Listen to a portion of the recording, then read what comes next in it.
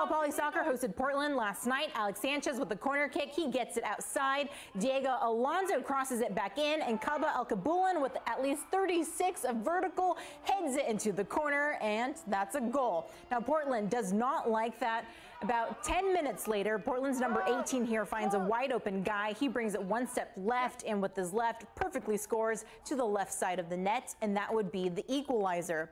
Mustangs would finally catch a break here with this free kick by Alonso Sean Goode, who just entered the game with a beautiful header. Portland's keeper didn't even have time to react. Poly now leads 2 to 1.